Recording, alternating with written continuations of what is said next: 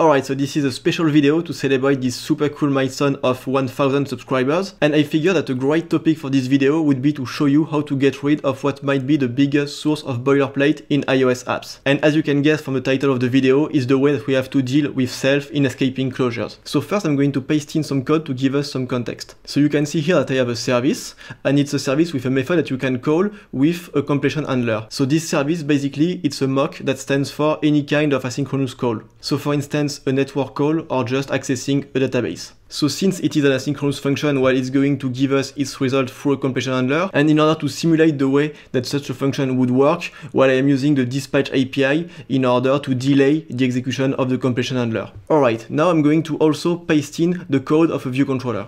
So this is my view controller. It looks kind of what you would find in most iOS apps, meaning that the view controller has a reference to a service to get its data. Then it has some UI elements, here a UI label. Then there is some business logic inside. So here a function to format a data in the form of an int into a string. And finally there is view did load in order to implement the lifecycle of the view controller. And as you can see, well in view did load we first set a value for the text in the label and then as you can imagine we are going to call the service in order to get the data. So let's do this. So I'm going to call my service.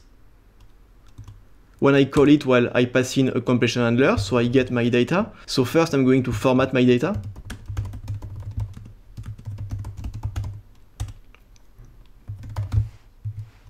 And then, well, I'm going to take my formatted data and just display it on the UI. So I do it by taking my label, its text, and appending the formatted data.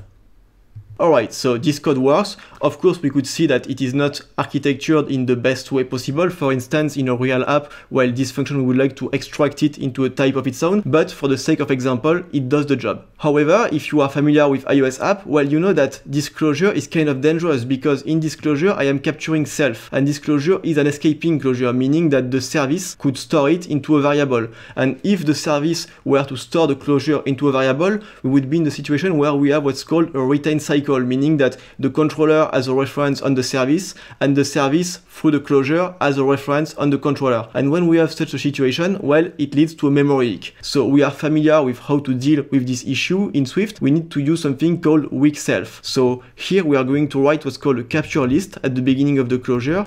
And we say that we want to capture a weak instance of self, meaning that now the closure is no longer going to retain self. Instead, it's going to have an optional value for self. And if self is no longer in memory when the closure is run, while in this case self will be set to nil. So this solves the issue of a potential retain cycle. However, it also creates some trouble in our code because you can see here that now I have an error. It says that value of optional type view controller must be unwrapped. And that makes sense because now, as I just said, self is an optional. So we need to deal with it like any other optional. So here I need to add a question mark. So we've solved the first compiler error, but now there is a second one. It says that, well, here formatted is now an optional string. And that makes sense because we are calling format on an optional instance. But we don't want an optional string, we want a non-optional string. So the way to deal with it is to get a non-optional version of self. And to do it, well, we use a guard statement where we do guard let self equals self else return.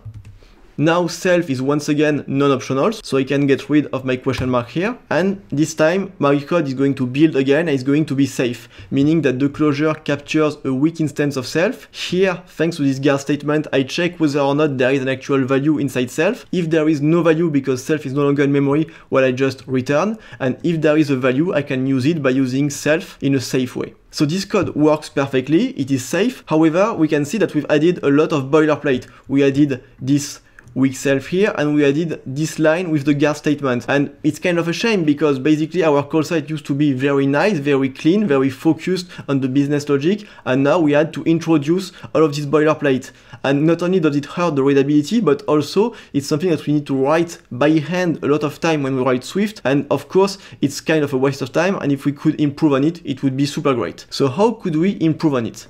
Well, first, we can begin by seeing that in disclosure, basically, we can separate it into two different parts. So first, at the beginning of the closure, there is what we could call the boilerplate, meaning the part that only deals with providing a safely retained version of self.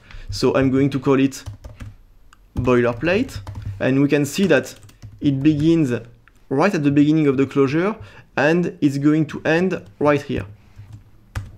That's the end of the boilerplate.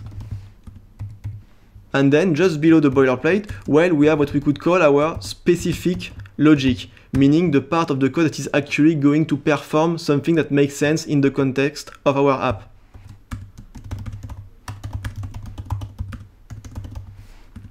And the fact that we can separate the closure in these two parts tells us that maybe there is a solution to extract, to factor out the boilerplate. Because, well, what we would like to do is to be able to encapsulate this part somewhere and then call it somehow in order to only have to write this specific logic whenever we need a closure that captures self. So a first way to do it would be to extract this specific logic into a function of its own. So to do it, we're going to write it like this. So just before I make my service call, I'm going to create a variable called specific logic. And this variable, it will hold a function. And this function, well, is going to have two arguments. First, it will have an argument of type viewController because I need to use self. And then it will have an argument of type int because I need my data. And well, it's going to return just void because this closure is going to only implement side effects. Here is the fact that we set a new value on the label.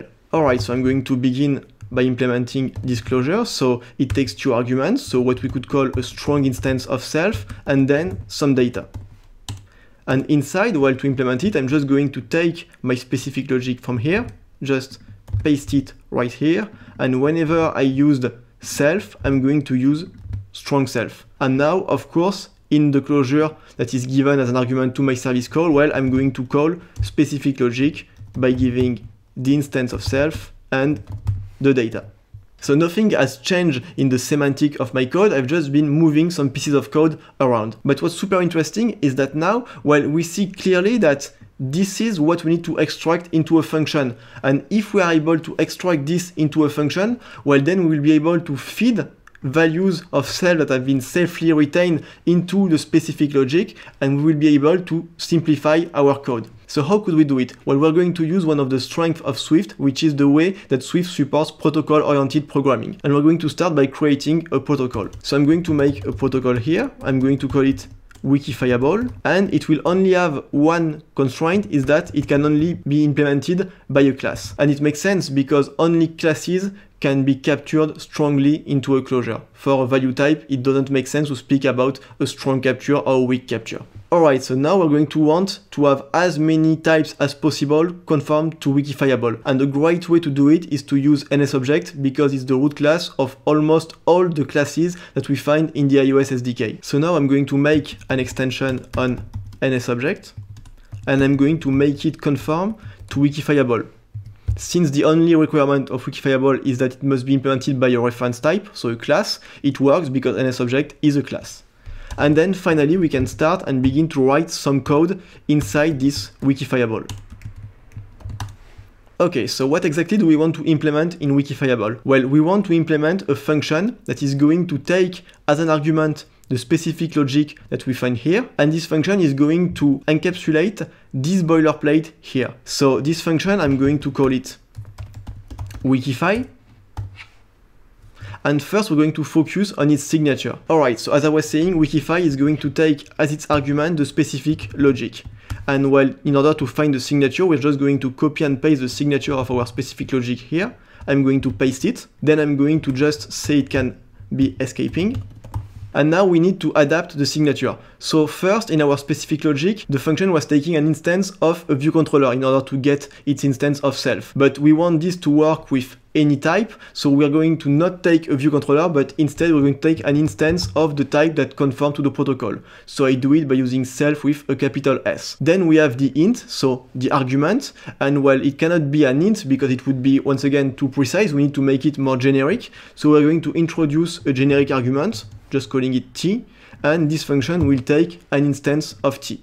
And now for the return type, well, the return type is going to be a function that can be called just with the data and that doesn't need to worry about how to capture an instance of self. So it's a function that will take an instance of t and return void. And once again, if we take a look at the signature, we see that as an input, we will take a function that know how to use an instance of self and an instance of t, and we return a function that only requires an instance of t. So when we take a look at the signature, we see that indeed the job of the function weakify is going to be to provide this instance of self. Alright, now it's time to implement the function weakify. So first we say that we return a function. So let's start by returning a function. And then what are we going to do inside this function? Well, basically, I'm just going to select, you see here the code that was inside my service. I'm going to cut it and I'm going to paste it here. Now we can see that it's almost working. I just need to make some adaptation, but you can see that weak self is indeed still valid because weakify is an instance method of a type that implements the weakifiable protocol. And since weakifiable can only be implemented by a class while it makes sense to be able to capture an instance of self, then I can also write this guardlet statement. And finally, I'm calling my specific logic. And here I just need to change the name. It's no longer called specific logic. I've just called the argument code. So I've updated the name here and that's it. Just with this, I've been able to implement my function weakify and now it's time to actually use it. So first I'm going to get rid of the variable specific logic here. I'm just going to take the code, put it once again inside the service call. I get rid of this. And now the question is, how do I make this code work using Weakify? Well, as you can see, here I have the specific logic, and I have in the specific logic a function that uses a strong self and some data. So I'm going to write my arguments. So it's strong self and data. And you can see here that the pattern that is emerging is exactly the one that we see in the signature of Weakify. Here I have a closure that uses an instance of self and a data and I want to pass it to a function, the call of the service, that only knows how to deal with closures that just take in the data. So we're going to use Weakify to bridge the gap between the two. And the way to do it is going to be, well, first to add parentheses to make the call to service.call more explicit. We're going to have to also write the external name of the argument, so of the closure, which is with.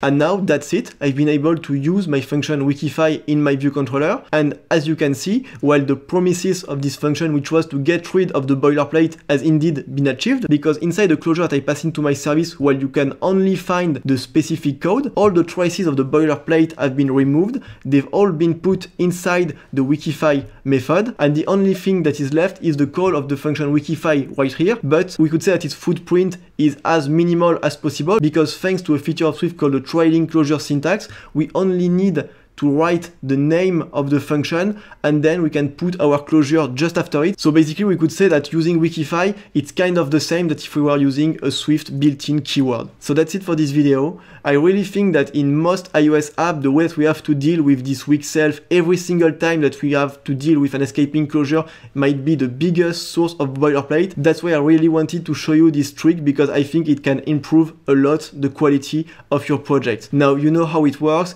If you found this tip useful, you can give a like, you can give a comment to say what you think about it. Maybe you are already using it, maybe you have questions, say it in the comment and I will respond as best as I can. And of course, if you found this tip useful, well, please don't hesitate to share this video with your colleagues. Thank you for watching. See you next time.